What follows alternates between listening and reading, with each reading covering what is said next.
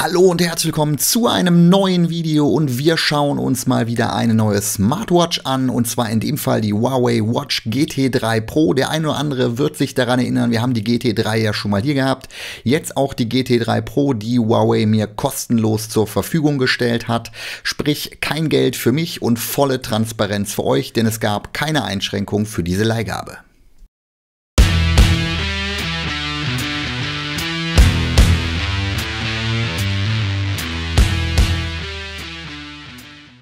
Und wir legen wie immer los mit einem Blick auf die Verpackung, wobei ich es abkürzen kann. Da ist nicht viel zu sehen. Nur auf der Rückseite findet ihr die Modellbezeichnung und auch die Farbe bzw. das Material, aus dem unsere Uhr hier gefasst ist. Denn die ist aus Keramik mit den Goldeinlässen und zwar sowohl das Gehäuse aus Keramik als auch das Armband. Das ist die aktuell teuerste Version, die verfügbar ist. 599 Euro müsst ihr für diese Variante der Watch GT3 Pro auf den Tisch legen. Und damit kommen wir auch schon zum Unboxing und wir packen dieses gute Stück jetzt einmal aus. Ich muss da ja, ich habe irgendwie ein bisschen Respekt davor. Das ist nämlich tatsächlich die teuerste Smartwatch, die ich bisher hier hatte. 599 Euro ist schon nicht ganz günstig, aber gut, das Gehäuse komplett aus Keramik und auch das Armband, das kostet natürlich 2, 3 Euro. Und hier seht ihr das gute Stück. Tun wir aber jetzt erstmal beiseite und gucken mal, was hier noch mit drin ist in dem Karton. Denn was wir natürlich noch vermissen, ist ein Ladekabel und was haben wir hier noch? noch. Ah, okay, das ist, um das Armband zu erweitern, sowohl scheinbar ein kleines Werkzeug als auch nochmal Ersatzglieder für das Armband. Das sieht mir sehr nach einem Ladepad aus. Und dann gucken wir mal, was wir hier noch haben. Okay, die Bedienungsanleitung oder was wir auch immer da gleich rausholen werden, ist nicht unbedingt dazu gedacht, dass man sie rausnimmt, offensichtlich. Ähm, aber gut, im Zweifel braucht man die ja auch gar nicht unbedingt. Schauen wir mal rein. Genau, hier ist nochmal so ein QR-Code, um das Ganze dann nachher auch koppeln zu können. Garantiekarte und die Kurzanleitung. Ich hoffe mal, und das war in der Vergangenheit ja auch immer so, die brauchen wir nicht. Ist hier noch was drin? Nein, das sollte es gewesen sein. Und damit würde ich sagen, wir gucken uns im nächsten Schritt einmal die einzelnen Bestandteile dann auch nochmal im Detail an. Wir legen los mit dem Ladekabel, wobei da vermutlich nichts Überraschendes bei ist. Das ist oder sieht zumindest so aus wie das Standardkabel von Huawei. Hier legt ihr einfach nur die Uhr drauf und habt dann hier entsprechend den Anschluss, um euer Netzteil damit zu verbinden. Das ist jetzt unspektakulär. Hier wird es schon ein bisschen spannender, denn hier habt ihr noch ein paar Ersatzglieder für das Armband. Und ich nehme es mal vorweg, ich bekomme das Armband so in der Größe nicht zu um meinen Arm und brauche im Zweifel also dieses kleine Werkzeug hier, um damit zusätzliche Glieder auf die Uhr zu bringen, beziehungsweise an die Uhr zu bringen. Und hier seht ihr auch nochmal, das ist so ein kleiner Schraubmechanismus, den man da öffnen muss. Deswegen braucht ihr da auch dieses kleine Werkzeug. Und jetzt gucken wir uns aber mal die Uhr im Detail an. Ich mache mal diesen, diesen Schutz hier raus.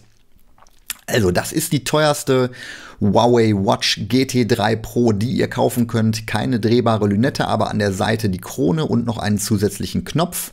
Ähm, ansonsten habt ihr hier unten die Öffnung und ich zeige es euch jetzt nochmal, was ich gerade schon sagte. Also für meine, für meinen ähm, Armumfang bzw. Handgelenksumfang ist das Ganze nicht geeignet. Zumindest nicht ohne noch ein paar zusätzliche Glieder einzusetzen. Aber ich muss tatsächlich sagen, mit den zusätzlichen Gliedern würde die Uhr tatsächlich bei mir passen. Und mein Handgelenk ist nicht ganz so dünn. Also insofern nicht unbedingt nur für das weibliche Handgelenk geeignet, sondern durchaus auch, wenn einem die Farbe oder beziehungsweise diese Kombination aus Gold und Keramik gefällt, durchaus auch für den männlichen Unterarm geeignet.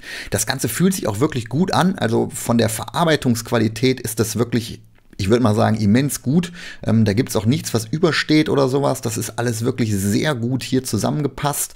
Ähm, auch mit der Krone und so weiter. Also das gefällt mir auf den ersten Blick optisch zumindest schon mal sehr gut. Aber gut, Optik ist nicht alles. Deswegen richten wir die Uhr jetzt natürlich auch noch ein. So, dann richten wir das Ganze auch ein und brauchen dazu natürlich unser Smartphone als auch die Watch GT3 Pro. Hier müssen wir uns zunächst mal unsere Sprache raussuchen, sind einige Sprachen mit drauf, deswegen guckt, wo Deutsch ist. Ähm, Im Zweifel ist das ja immer nach Alphabet sortiert, deswegen müssten wir es ein bisschen weiter oben finden, genau. So, da haben wir schon Deutsch.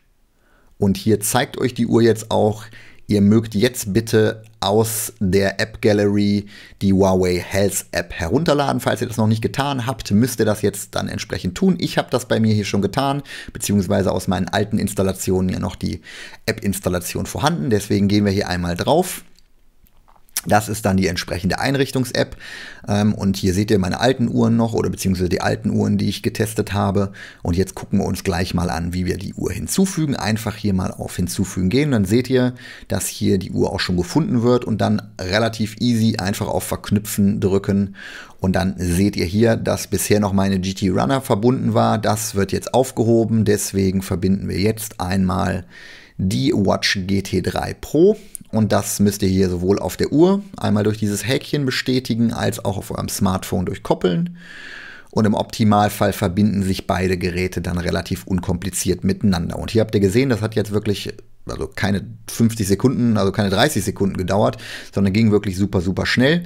Ähm, ansonsten müsst ihr hier noch zwei, drei Häkchen setzen, also die Aktualisierung herunterladen über WLAN würde ich euch immer empfehlen. Ähm, die Nichtnutzung oder die aktive Installation bei Nichtnutzung müsst ihr selber entscheiden. Ich bin immer ein Freund von, ich warte lieber erstmal ab und gucke, was passiert, wenn eine neue Version rauskommt, aber das muss jeder für sich letzten Endes selber entscheiden. Ansonsten möchte die App jetzt hier noch von euch, dass ihr ähm, euer Telefon entsprechend konfiguriert, damit die App auch immer durchgängig läuft und damit die Verbindung bzw. Schrittzähler und so weiter und so fort in der Synchronisation zwischen Uhr und Health App funktionieren. Da wird euch auch nochmal angezeigt, wie das Ganze in eurem spezifischen Fall funktioniert. Wenn ihr zum Beispiel ein Samsung-Smartphone habt, wird euch sehr genau auch nochmal gesagt, was ihr tun müsst. Ich mache das jetzt hier mal nicht, ähm, weil A, habe ich das schon gemacht und B, ähm, ist das für mich jetzt auch nicht so super relevant.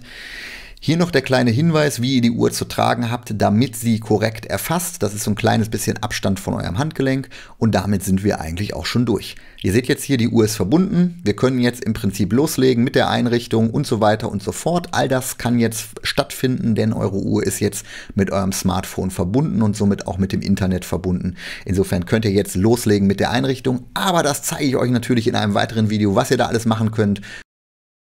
Ja, das soll es für das erste Video mal gewesen sein. So ein allererster Eindruck wirklich von der Verarbeitung her sehr, sehr gut. Alles weitere gucken wir uns dann in den kommenden Videos an. Im nächsten Video, wie gerade eben schon erwähnt, zeige ich euch mal den Bedienerguide, die Bedienung, was können die Apps, was könnt ihr einstellen und so weiter und so fort. Wer das nicht verpassen will, klickt gerne auf Abonnieren. Ich danke euch fürs Zusehen. Fragen gerne in die Kommentare. Alexa, Kamera aus. Okay.